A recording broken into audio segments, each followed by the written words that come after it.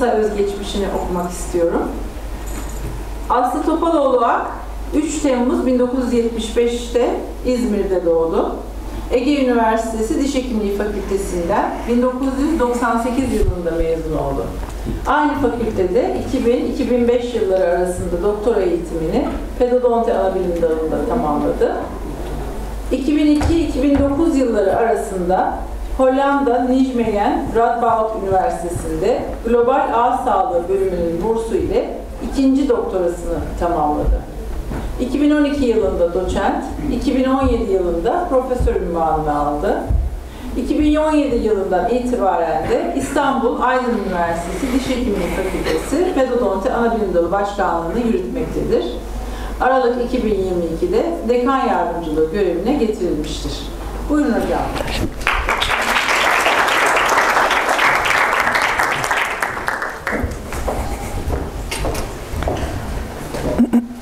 Çok teşekkür ederim. İstanbul Diş Hekimliği Odası'na da bu nazik davetler için çok teşekkür ediyorum. Aslında Mart ayında burada sizinle olacaktık ama maalesef bu Covid e, olayına ben de e, bizzat e, maruz kalınca bugüne ertelenmiş oldu. Ne yapalım her şeyde vardır bir kısmet diyoruz. Evet bugün e, size minimal invaziv çürük uzaklaştırma yöntemleriyle ilgili bir sunum yapacağım. Son 30 yılda e, gelişmiş ülkelerde çürük prevalansının oldukça düştüğünü görüyoruz. E, ancak tabii bu düşüş global olarak baktığımız zaman e, yani hala aynı homojenitede devam etmiyor. 620 milyon çocuk sosyodemografik eşitsizlik nedeniyle e, halen e, kayıp diş, e, tedavi edilmesi gereken dişten müzdarip bir durumda. Dolayısıyla şöyle baktığımız zaman 5-6 yaş çocuk prevalansı tüm dünya dağılımındaki ne kadar farklılıkları görebiliyorsunuz. Burada Türkiye'nin, çok özür dilerim, Türkiye kırmızıda %70'ten fazla.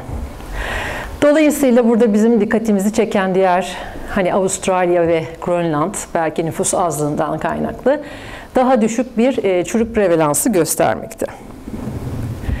Ülkemizde 2004 ve 2018 ağız diş sağlığı profiline baktığımız zaman 14 yılda aslında çok da büyük bir e, adım atılmış söylenemez. Çünkü e, 14 yıl aslında birçok e, gelişmiş adına gelişmek yani preventif koruyucu anlamda bir sürü şey yapmamız gerekirken çok da bizim istediğimiz bir tablo değil. Çünkü biz %80 gibi 12 yaşta bir çürüksüz ağız profili hedeflerken halen bu %46.6'larda.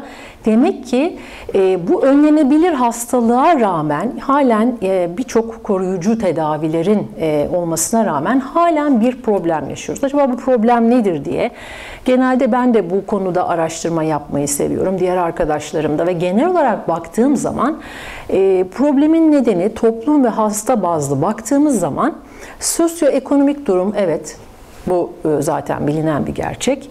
Eğitim düzeyi, e, diş fırçalama ve diş sağlığı, oral sağlığa verilen eğitim, e, ya buna karşı bakış açısı diyelim eğitim seviyesiyle. Diş fırçalama alışkanlığı hepimizin e, takdir ettiği gibi çok çok önemli. Hala bir alışkanlık kazanılmamış maalesef toplumumuzda. Ve koruyucu önlemlerin uygulanabilirliği. Yani bunu şöyle de çevirebiliriz. Toplumun, anne babaların diyelim e, koruyucu önlemlere karşı halen maalesef ki maalesef böyle biraz daha e, ön yargılı bakışı ne gibi? Flor uygulamayı halen yapmayalım. Bu çok toksikmiş gibi. Maalesef böyle e, kötü bilgilenmeyle e, dezenformasyonla bize karşı böyle bir e, tutum sergileyebiliyorlar ve bunlar maalesef bu durumda hedeflere ulaşamamamızın nedenlerinden sayılabilir.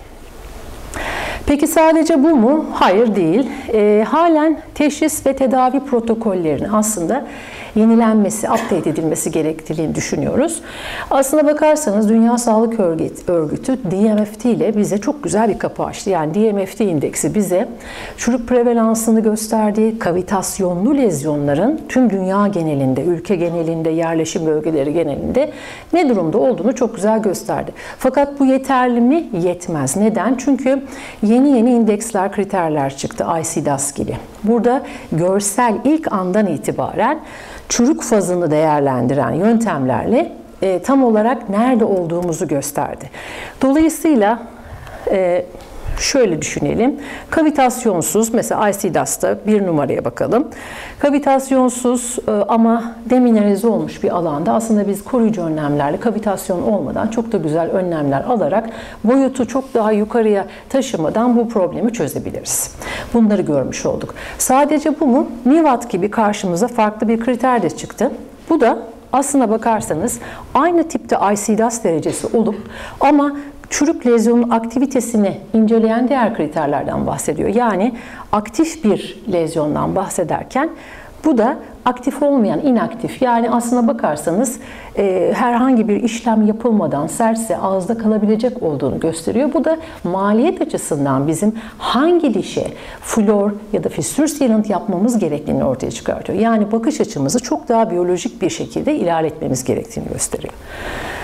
Evet, biz günümüzde aslında pedodontide Erken çürük teşhisi yaparak işte bir sürü yöntem, ekipmanlar var. Fotiden tutun transilüminasyonlara, lazer, diagnodentlere bunu kullanarak önleyici tedavileri zamanında yapabiliyoruz.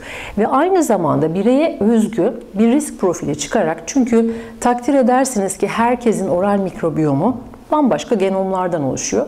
Farklı risk kriterleri olduğu için onlara özgü belki flor uygulaması, belki florsuz farklı reminizasyon ajanları ve tedavi protokolleriyle onlara bir cevap verebiliyoruz. Ve şu anki çok şükür ki artık elimizde adezi sistemler ve biyomimetik materyaller var.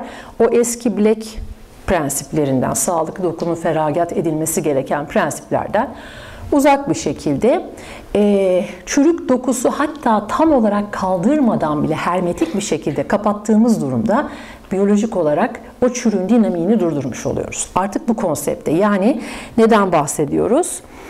Çürük lezyonların dinamiğini mekanikten biyolojik bir yaklaşıma doğru, biyolojik olarak bakmamız gerekli.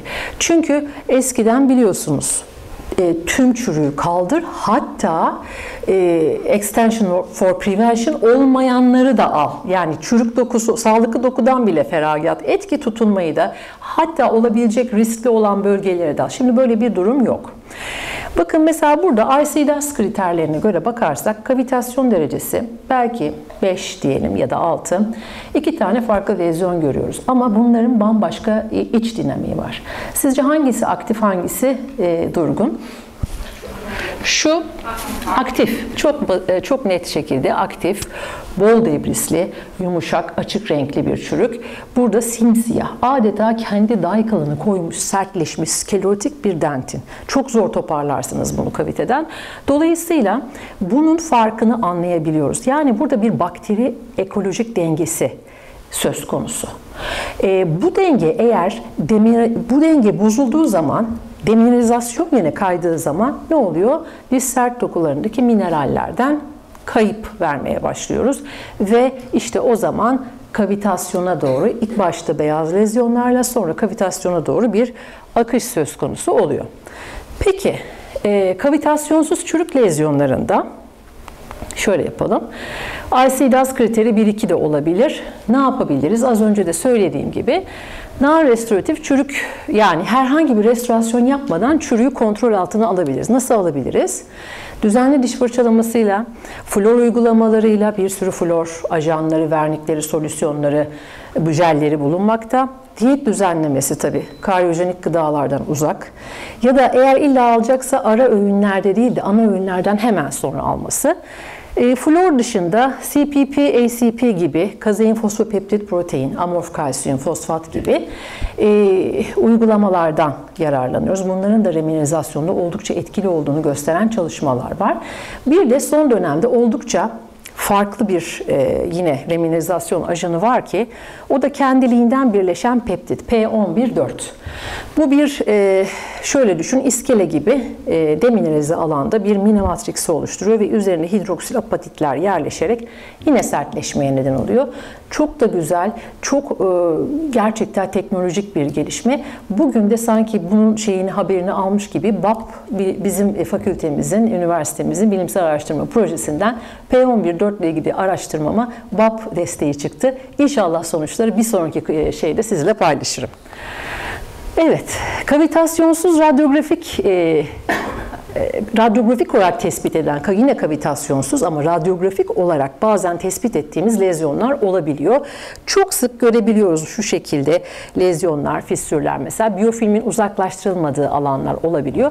Bunları da bildiğiniz gibi oklüzel ise bunlar fissür örtücüler, ama mesela fistül örtücü için uygun bir izolasyonunuz yoksa, çocuk kooperasyonu uygun değilse o zaman çok güzel bir şekilde atravmatik restoratif tedavi cam ionomer silantları kullanabilirsiniz. Yani aslında söylediğim şey şu, e, high viscosity yani yüksek viscosity'li cam ionomer simanları e, tamamen parmak basıncıyla tüm fistül boyunca yayıp Orada e, o bölgeyi, o tamamen fissürleri kapatmayı hedefleyebilirsiniz ki retantif alanlar ortadan kalksın.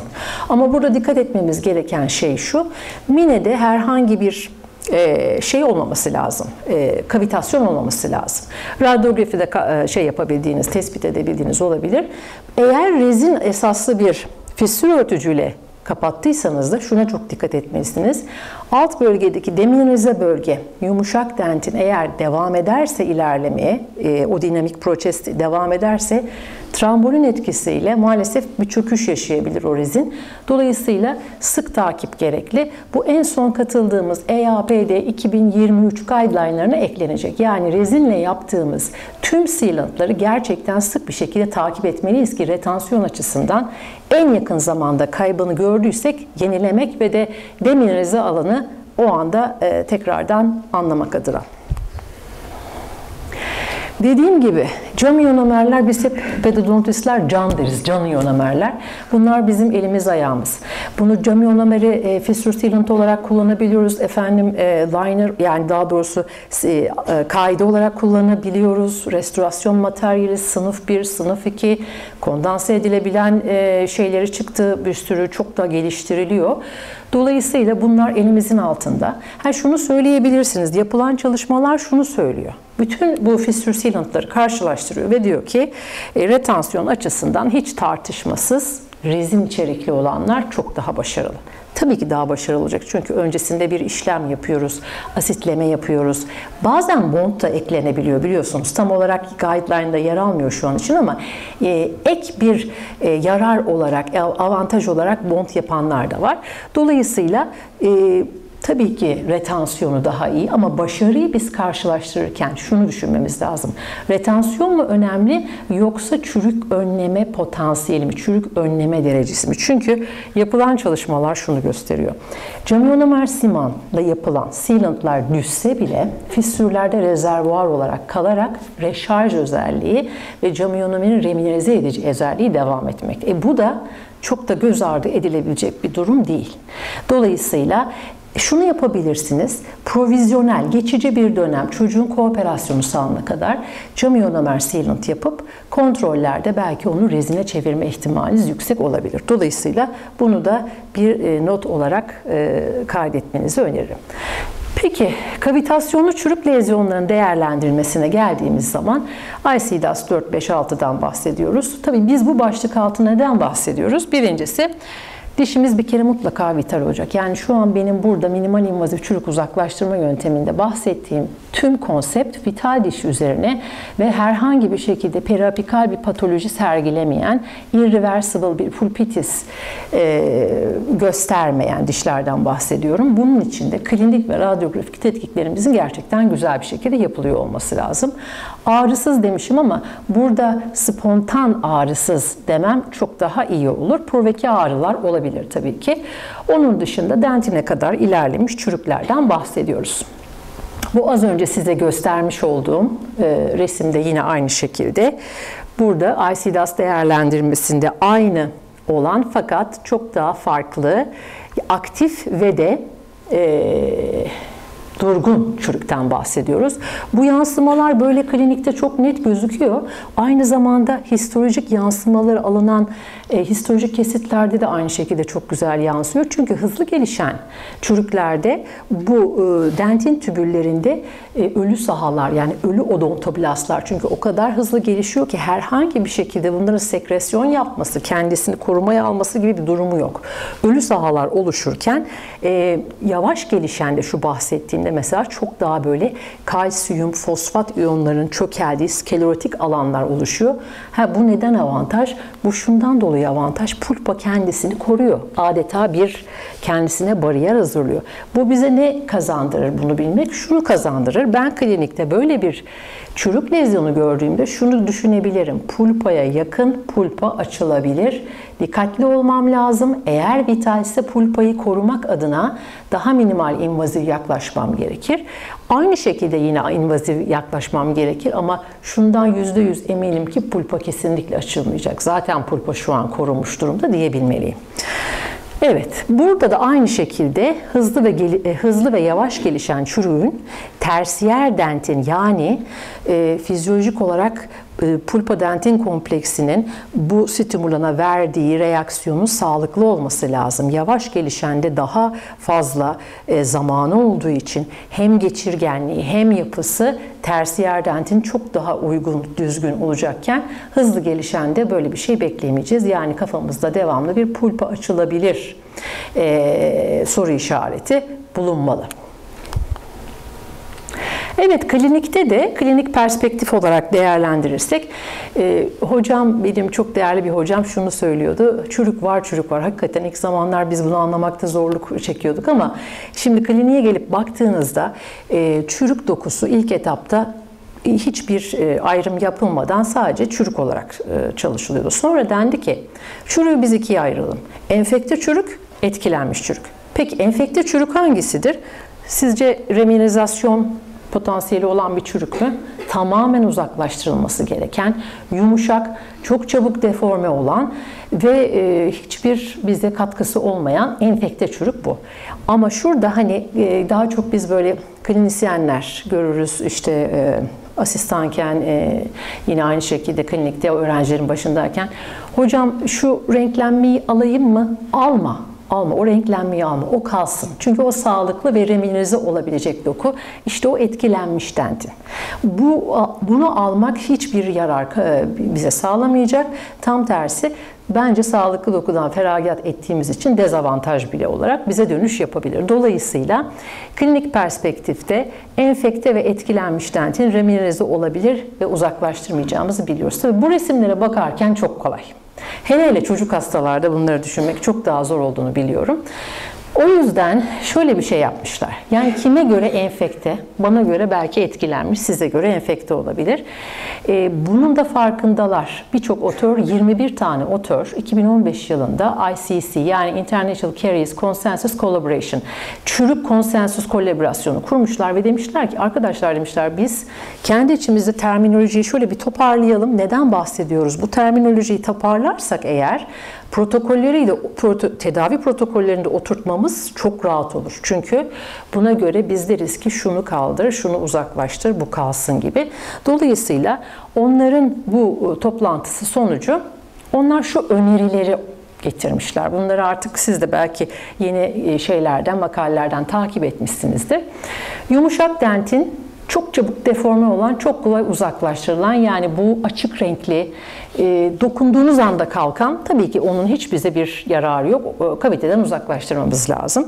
Daha sonra işte lateral kayışımsı kösel edenti diye bir terim ortaya çıktı. Bu deforme olmuyor ama yine kolay uzaklaştırılıyor. E, bununla genellikle yapışkanlık hissi alıyoruz. Yani sonda bile batırdığımızda böyle sanki geri çıkartırken bir şey sizi tutuyor gibi bir his vardır. Bu işte kösel edentin bunun ama remineralize olabileceğini söylemişler. E, her ne kadar sans klinik yani halen ben e, sıkı dentine kadar almayı hedeflesem de yapılan çalışmalar bunun hala remineralize olabileceğini yeter ki lateral duvarların tertemiz olması yani periferal duvarların e, kavite tabanının değil ama lateral duvarların sıkı dentinle kapatılması ve hermetik bir şekilde örtülmesiyle işte o bahsettiğimiz ekolojik dengeyi değiştirin diyorlar. Öte yandan sıkı dentin bunu biraz daha kuvvetli uzaklaştırmamız lazım ve yapışkanlık hissi azalıyor. Sert dentinde cızırtılı ses. Bu hani ekskavatörü değdirdiğinizde scratchy sound der. Böyle kıtır kıtır ses gelir. Ben onu hep o sesi duymak isterim. Halbuki ona gelmeden sıkı dentinde bile eğer güzel bir kapanış yaparsak e, dolgumuzla hele bir de biyomimetik flor salan remineralize eden bir dolguysa bunu biz yine sağlayabiliyoruz. Evet, bunlar bizim tabii bu terminoloji bakış açımızı değiştirdi. Neden değiştirdi? Çünkü derin dentin çürüklerinde bizim her zaman için biliyorsunuz ki bir pulpa perforasyon riskimiz var. Dolayısıyla bizim hedefimiz etkilenmiş dentinin reminizasyonu, tübüler skleroz o e, dentin tübüllerinin içinin e, kalsiyum, fosfat gibi iyonlarla, flor gibi iyonlarla sıkılaşması ve tersiyer dentin güzel bir şekilde yapılansın ki yapılansın ki pulpa kendini korusun. Yani sanki radyografiyi açtığımızda pulpa kendisini geri çekmiş gibi bir görüntü versin. Dolayısıyla biz bu amaçla e, basamaklı çürük uzaklaştırma yani indirekt kuafajla da yapabiliriz. İndirekt kuafajın yapılma amacı zaten e, derin dentin çürüklerinde pulpanın açılacağını öngördüğümüz durumlarda ne yapıyoruz? Deminerize e, dentin üzerine kalsiyum hidroksit esaslı ya da işte MTA'dır, biyodentindir materyali koyup bekletiyoruz. E, tam bir seansta bekletiyoruz. Ama e, bu riski azaltmak adına basamaklı çürük uzaklaştırma diğer bir adıyla stepwise excavation'dan bahsetmişler. İki kademeli 6-12 ay gibi bir süre vermişler. Daha sonra bu şeyi kaldırın, kaviteyi kaldırın ve aktif lezyonun durgun hale geçtiğini görün diyorlar. E peki bu bize e, ne kazandırıyor? Onları birazdan anlatacağım. Fagundes'in çok güzel bir case'i var. Özellikle onu paylaştım. Bakın bu ne kadar kolay kalkan. O ne, hangi dentinde hatırlarsanız yumuşak dentini ortadan kaldırıyor. Koyu renkli e, kalması kalkması biraz daha zor olan sıkı dentin aslında kavite tabanında kalmış. Kalsiyum hidroksit konulmuş. Bizim modifiye cam ionomerle e, bekletilmiş ve yaklaşık herhalde bir 6. ay kontrolde bakar mısınız farkı tekrardan. Şu kavitenin rengiyle daha sonra açtığımızda ne kadar güzel e, ne olmuş? Artık aktif bir lezyon değil, sertleşmiş ve dördüncü yıl kontrolünde tersiyer dentinin bakın oluşumunu görüyor musunuz? Kendisini pulpa adeta çekmiş, tübüler skleroz söz konusu. Patolojik hiçbir durum yok, kemik gayet güzel, hiçbir radyolüsensi yok, e, kemik lamelleri çok düzgün. Bu mesela perforasyon riski olan bir diş için gayet minimal invaziv bir yaklaşım oluyor. Peki basamaklı yani hangisini yapalım? Basamaklı çürük uzaklaştırmayla mı yoksa geleneksel e, yöntemle mi yapalım? Çalışmalar şunu gösteriyor ama tabii bununla ilgili ciddi anlamda meta yapılması lazım. Şu an için basamaklı çürük uzaklaştırmanın sanki daha yüksek bir e, başarıya sahip olduğunu gösteriyor. Yani demek istiyor ki e, kendinizi riske atmayın, açın, inaktif hale getirin, tekrardan e, kapatın. Daimi dolgusunu o zaman yapın. Hani bilin. Ama bu tabi dediğim gibi birçok araştırma yapılması gerekir. Sadece bu tek bir araştırmayla karar vereceğimiz bir şey değil. Ama bu sizin için zaten sistematik meta analizlerden yararlanmıştım bu bilgi için. Ha, hiç mi dezavantajı yok iki basamaklının? Tabii ki var. Hepimiz yaşıyoruz hastanın e, ağrısı, sızısı geçince, yakınmaları geçince gelmeyebilir. O zaman ne olur? Koyduğunuz o geçici restorasyon maalesef e, sızdırmazlığı tabii bir sorun yaratır. Enfekte olma riski artar. E, bu çok büyük dezavantajlar. Önce önden bunları söylemek isterim. Öte yandan tabii ki bir e, maliyet analizi yaparsanız hani gitme, gelme, tekrar başka bir dolgu koyma bu dezavantajları söz konusu. Ha bir de ikinci seansta ekspoze etme şansınız da olabilir. Hani bunlar da dezavantajları olarak e, söylenebilir. Diğer başka bir yöntem yine derin dentin çürük temizlemesinde ne dedik? İki basamaklı çürük uzaklaştırma. Bir de selektif çürük uzaklaştırma. Şimdi sizinle daha önce çalışmış olduğumuz bu terminolojilere göre onların önerisi tek seans. Aslında tek seansta orta ve sığ kaviteler bu bizim için kolay. Orta ve sığ kavitelerle yeter ki kavitenin neredeyse yarısından ya en az yarısı kadar e, lateral duvarlarda gerçekten sağlam yani sert e, dentin bırakacağız.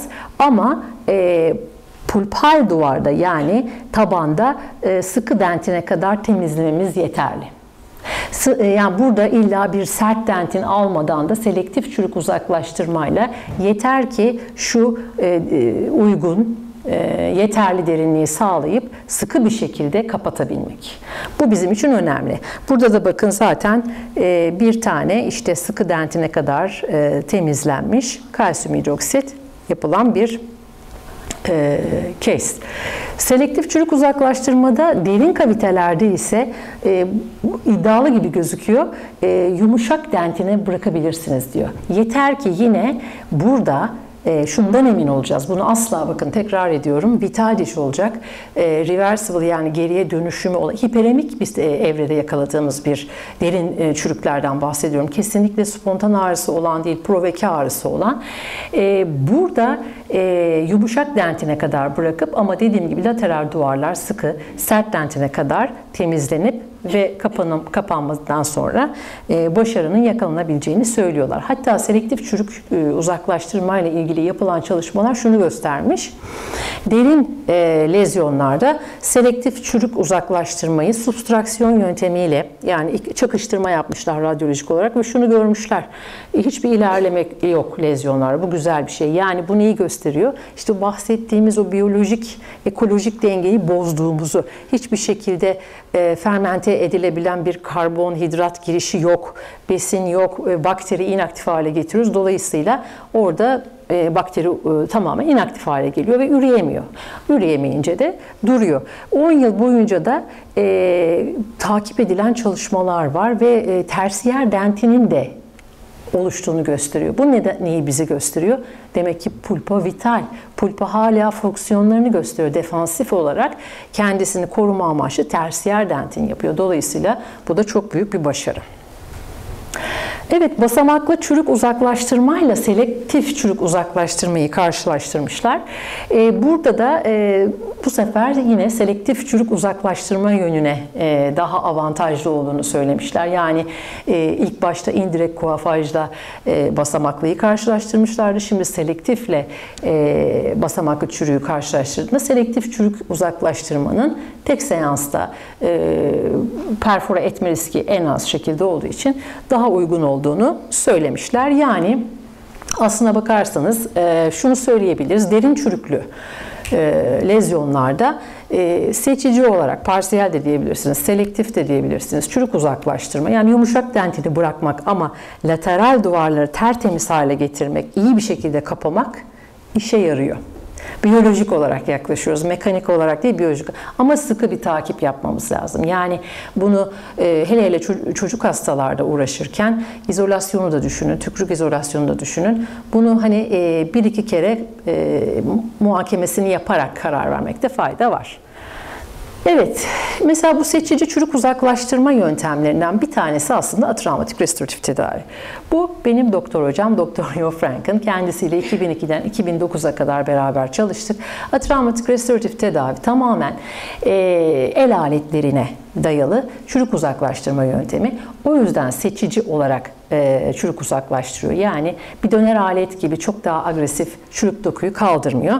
E, kendisi FTI Halk Sağlığı Komitesi üyesi ve sırf hayatını buna adamış. Yani e, oral sağlık hizmetlerinin gitmediği bölgelerde işte Malawi, Tanzanya, Zimbabwe gibi 20 sene gibi kalmış. Sadece el aletleriyle çocuklarda, e, handikaplı hastalarda çürük tedavileri yapmış ve e, tüm aslına bakarsanız dünyaya da tanıtan kişi o. İlk tanıttığında sağ koşullarında yapılan bir tedavi gibi tanıtmıştı ama şu anki e, rolü biraz değişti. Bunu biraz size anlatacağım.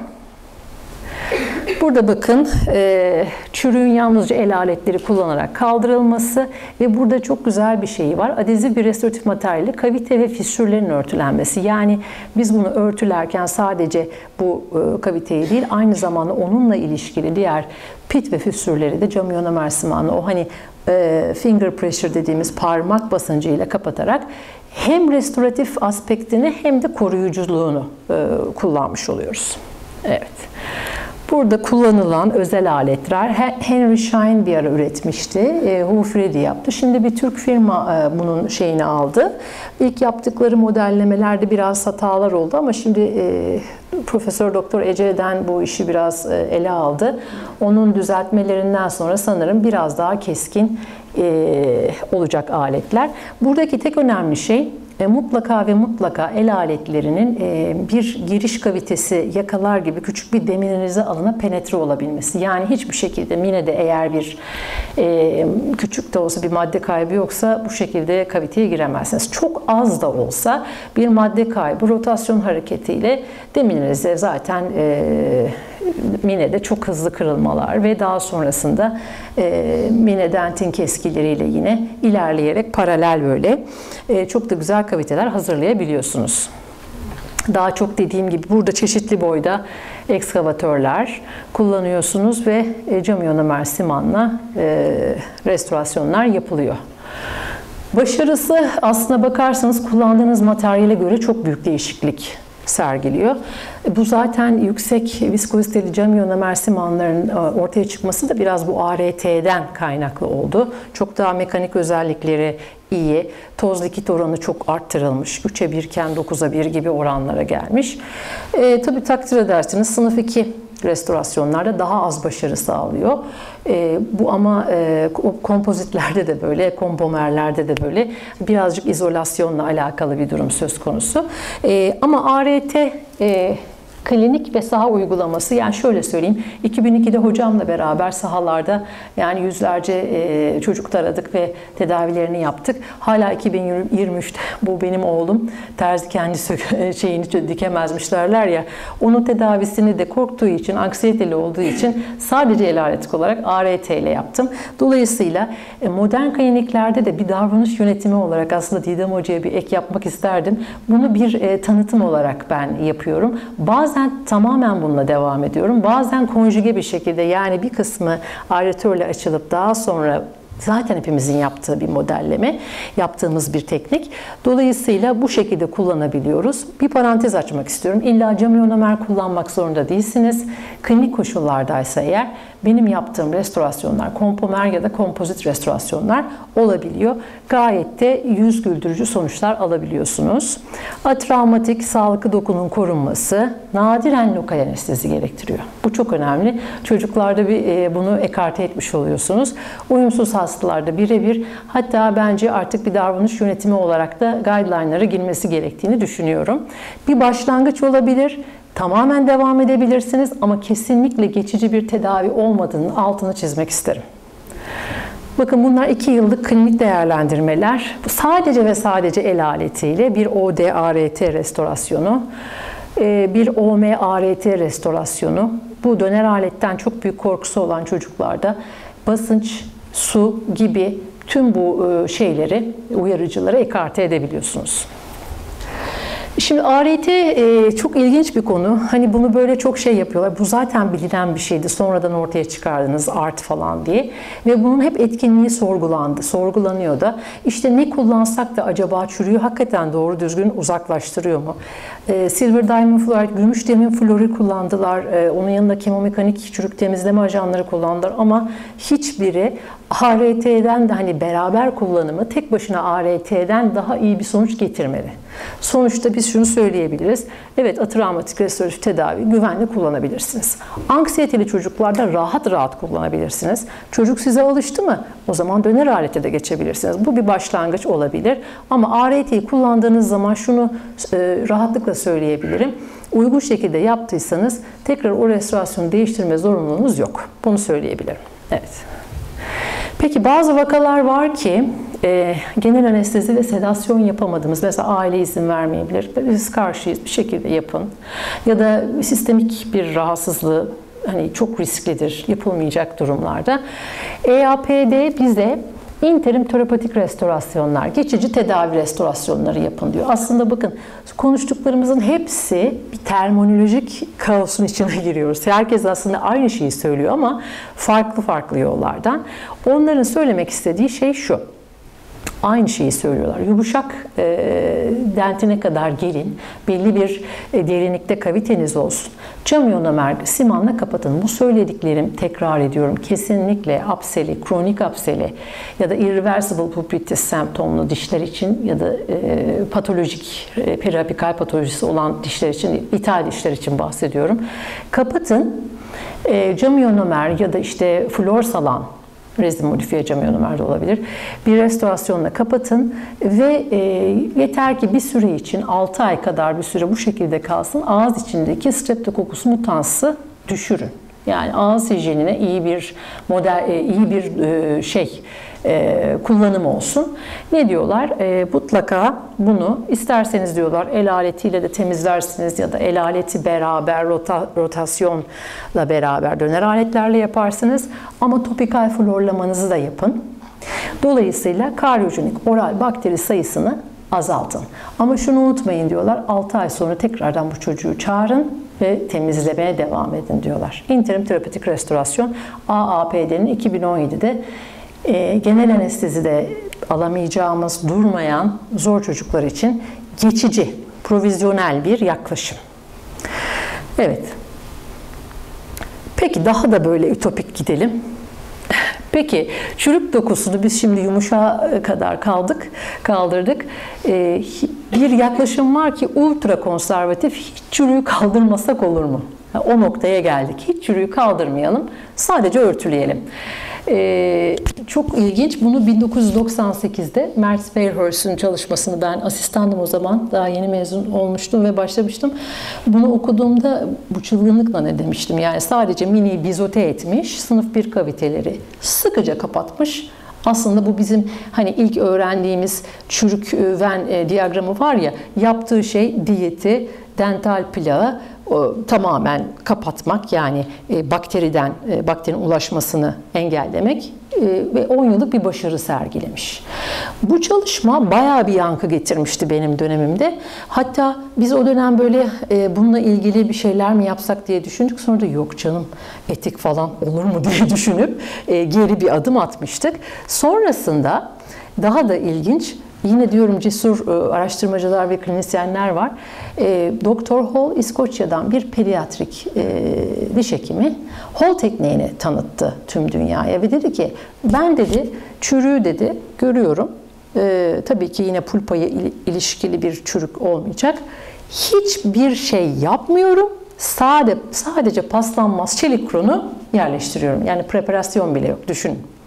Biz duyduğumuzda yani iyice artık nasıl olur falan demeye kalmadan bu gerçekten çok büyük bir ilerleme kaydetti. Yani bu görüş tabii birçok araştırma ve klinik randomize kontrollü klinik çalışmalar yapıldı ve aslına bakarsanız e, çok da başarılı bunu e, olduğu gösterildi. Şöyle size göstereyim. Konvansiyonel yöntemden bakın neredeyse daha fazla, neredeyse değil çok daha fazla başarıya sahip nedeni sizce nedir? Tamamen izolasyon. Yani o kadar sıkı şekilde kapatıyor ki hiçbir şekilde e, karyojenik bakteriler e, ya da e, fermente olabilecek gıdaların ulaşımı yok. Çok sıkı sarıyor ve gerçekten çok da başarılı bir yöntem. Ama tabii hiçbir şekilde preparasyon yapılmaması e, zor bir durum. E, onu da şimdi anlatacağım. Çok güzel bir yere şey yaptınız. Şimdi burada da hol tekniğinde plak ve şeyden bahsettik. E, bununla ilgili çalışmalar yapılmış ve 5 yıllık e, maliyet e, şeyi bile hesaplanmış. E, neden biliyor musunuz? Çünkü bir terim var. E, recycle of restorations. Yani restorasyon düşüyor tekrardan bir e, siklusa giriyor tekrardan bir siklusa giriyor. Bu bir, bile bir e, maliyet tabii ki. Ama paslanmaz çelik konuda öyle bir şey yok. 5 yıllık so, e, şey çalışmasında çok daha iyi güldüren bir e, şey ortaya çıkarmış, rakam ortaya çıkarmış. Bu önemli bir şey. Şimdi çok güzel bir şey söylediniz yükseklik açısından. Bizim ülkemizden e, değerli çalışmalı, e, çalışmacılar yapmış bu araştırmayı. Az bir popülasyona yapmışlar ama çok hoşuma gitti. Bu hol tekniğini denemişler ve overbite'ı yani kapanış nasıl oluyor? Nasıl oluyor? Hiçbir preparasyon yapmadan düzeliyor mu yoksa biz düzeldiğini mi sanıyoruz? Ee, bu çalışma sonucunda şunu göstermiş e, değerli araştırmacılar. Tedavi öncesi interkanin örtüleme mesafesine bakmışlar. 3 mm. Tedaviden sonra takdir edersiniz ki yükseklik olacağı için 1,5 mm'ye çıkmış. Hastayı 15 gün sonra çağırmışlar. 2 mm'ye evet geliyor yavaş yavaş. 30 gün sonra normale dönmüş. Çok ilginç. Yani aslında bir ay sonra Hall tekniğinde bu küçük bir e, çalışma grubunda yapılmış ama kayda değer bir araştırma. Biz bunu e, kendi e, fakültemizde, asistanlarımızda e, ilgimizi çektiği için araştırmıştık. Sonra hani düşündük acaba biz ne yapabiliriz diye. Biz de sonra bunu şöyle düşündük. Yeni bir çalışmaya e, yelken açtık diyelim. E, sevgili Venüs de burada benim asistanım. O da evet Venüs Seyadowski. E, Hall tekniğini yapalım dedik ve bu sefer tamam belki de overbite mesafesi normale dönüyor ama kaslar acaba nasıl oluyor? Yani maseter temporal kaslar çok mu tonuslu oluyor? Çok mu acaba bruksizme giden bir şey olabilir mi? Yakında sonuçları aldığımız zaman inşallah biz de bunları paylaşmış oluruz. Böyle güzel bir kapı açıldı yani. Evet, e, daha da ütopik bir yaklaşım. Non-restoratif çürük uzay yani hiçbir şey yapmayalım. Hani çürüğü bıraktık bir şey de örtülemeyelim. Bu e, şimdi ilk başta böyle e, belki de e, kulağa şey gibi geliyor ama tüm dünya geneline baktığımız zaman o 620 milyondan bahsettim tedavi edilmemiş çocuk ve sosyoekonomik durumu farklılıkları düşünürseniz bu bir e, yaklaşım, bu bir e, tamam restorasyon değil, restoratif bir yaklaşım değil ama çürüğü kontrol altına almak için uygun bir davranış olabilir. Bununla ilgili olarak da tabii yapılması gereken biyofilm tabakası yani düzenli fırçalama yapılması lazım. O bölgede e, bu fırçalama ve düzenli florun sağlanması için belki organizasyon, personel gibi bir takım çalışmalar çünkü hep bu şekilde yapılmış. Özellikle Hollanda'da bir arkadaşım Nepal bölgesi bölgesindeki çocuklara Silver Diamond Fluoride'ı 1, 3, 6, 12 ay aralıklarla uygulayıp e, bayağı büyük bir popülasyonda çürüğü nasıl durdurduğunu bir doktora savunması tezi olarak sunmuştu. Çok da e, değerli bir çalışmaydı. Öncülerindendir e, bu şeyin çürük kontrolü açısından. Dolayısıyla bunlar da uygulanabilir e, durumlar. Hatta e, Tweetman e, bizim camiamızda yine ünlü bir araştırmacı. E, e, gümüş demin floru bizim e, Black Swan olarak, siyah kuğu olarak söyler. Çünkü e, Silver Diamond Fluoride uyguladığınız yani çürük diye e, diamin flor uyguladığınız lezyonu dişler e, siyah renk alır, sertleşir ve siz onu durgun hale getirmiş olursunuz. Ha bunu klinikte uygulayabilir miyiz? Şöyle hiç durmuyor çocuk çok küçük yaşta ama hiçbir şekilde gümüş bir alerjisi yok. Çünkü metal alerjisi son dönemde yine artan bir e, trend sergiliyor.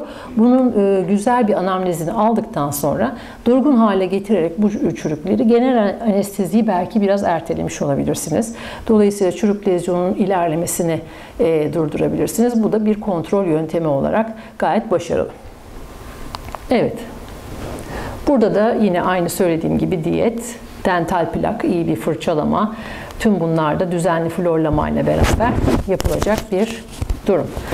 Aşağı yukarı burada süt ve daimi dişleri en son şeyde e, onların da e, önerdikleri doğrultu uygulanabilecek tüm basamakları beraber bakmış olduk. Şimdi en sona gelelim. Peki biz burada e, tam olarak hangi tedaviyi ne zaman yapacağız? Bir sürü şeyden bahsettim. İşte bunu aslında bakarsanız nerede olduğunuz, sahada mısınız, klinikte misiniz? Bu şekilde parametreler kullanarak çok daha rahat e, çözeceğinizi düşünüyorum. Hastanın yaşı ve kooperasyonu? Hastanın yaşı ve kooperasyonu sizin için belki işte e, şimdi bir sıkı dentine kadar geleyim ondan sonra bu, bunu yapacak durumda olmayabilirsiniz. Belki sadece bir silver diamond fluoride uygulayabilirsiniz. Ya da çok hızlı bir şekilde çünkü biz pe, e, pe, pedodontistler zamanla savaşıyoruz. Yani bizim öyle çok bir lüksümüz yok şimdi izolasyonu yapayım, pamukları alayım. Tabii duran çocuk da çok rahat yapıyoruz ama durmayan çocukla çok hızlı düşünüyor ve çok hızlı e, çalışan malzemelerle olmamız lazım. E, dolayısıyla yaş ve kooperasyon çok çok önemli. Rezin sealantlarda da aynı şekilde izolasyon yoksa cam ionomer sealant yapın. Eğer indikasyonu varsa cam ionomer sealant yapabilirsiniz. Hasta hekim aile kooperasyonu, beklentiler çok önemli. Bazen paslanmaz çelik rulon yapıyorsunuz ve hastanın ailesine eğer tam olarak onu öncesinde göstermediyseniz ciddi problemler yaşayabiliyorsunuz. Şu an için estetik algılar çok yüksek biliyorsunuz. Dolayısıyla bunları önceden hem hekim hem aile hem çocukla paylaşarak onların da olurunu almamız gerekiyor. Ee, öte yandan dediğim gibi en önemli şey tabii çürük lezyonun değerlendirilmesi. O da birazcık klinik tecrübeyle artan bir şey. Ee, ama e, sonunda hepimiz sağlıklı dokudan feragat etmemek için en ufacık milimetrik bile e, kavitede kalacak dentini bırakmak ve remineralizasyon olması için elimizden geleni yapmaktayız. Beni dinlediğiniz için çok teşekkür ediyorum.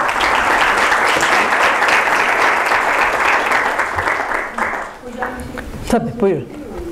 Ee, Şimdi böyle sizleri dinlerken, anlatırken çok hoşumuza